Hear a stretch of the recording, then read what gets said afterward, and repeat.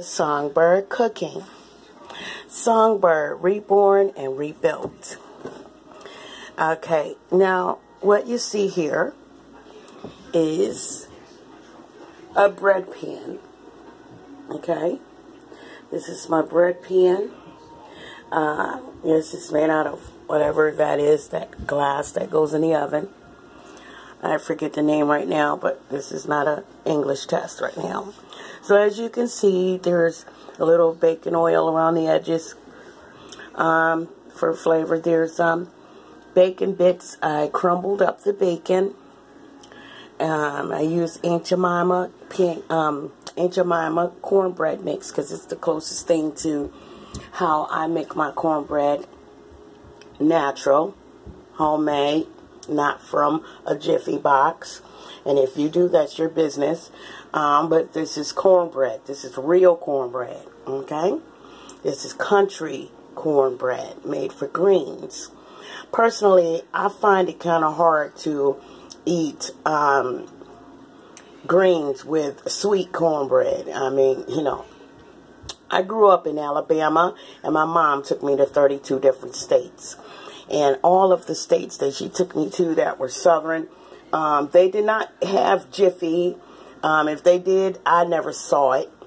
I never saw a Jiffy box, or I won't. I'm not talking about Jiffy. I'm not going against them. I love Jiffy cornbread. I can make it taste like cake, but that's the whole point.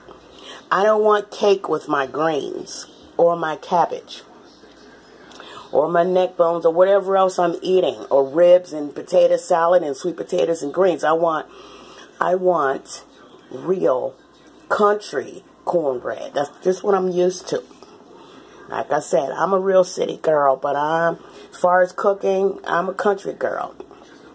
As, as I was growing up as a young girl, that's what I saw. I saw older women, not my mom, older women who were way older than my mom. They were somebody's grandmas, and they were making real country cornbread.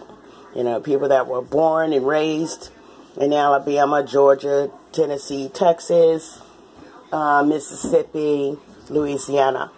They were raised on this, you know, and that's what I learned how to make real country cornbread. Not necessarily this with the bacon in it. But this is crackling bread. Um, I saw an older person teach my mom how to make it when I was about eight years old. And uh, today, that's what I'm making to go with my greens, which are here, cooking now. And look at them. Oh, look how beautiful they are. That right there is called straight nutrition right there. Organic at its best. Peace, love, and light. Again, this is the songbird cooking.